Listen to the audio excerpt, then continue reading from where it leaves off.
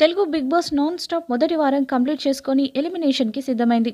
First వీక్లో ఏడుగురు nominate అవ్వగా వారిలో కొత్తగా వచ్చిన కంటెస్టెంట్ ఆర్జే చైతు కూడా ఉన్న సంగతి తెలిసిందే. సోషల్ మీడియాలో కొంతవరకు ఫాలోయింగ్ ఉండటంతో అతనికి ఓటింగ్ బాగానే వచ్చింది.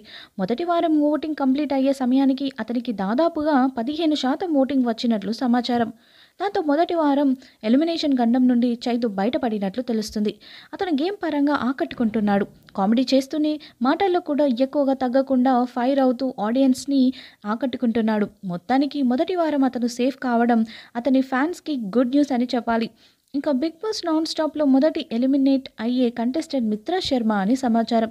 ఆమెకి ఓట్స్ తక్కువగా రావడంతో ఆమె ఎలిమినేట్ అయినట్లు వార్తలు వస్తున్నాయి.